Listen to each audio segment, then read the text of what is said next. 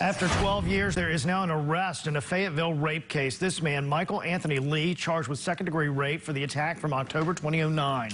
He's being held on a $175,000 bond. Lee's accuser says she met him downtown and went back to his home where the rape took place. Funding for the National Sexual Assault Kit Initiative grant paid for the testing, which ultimately ID'd Lee.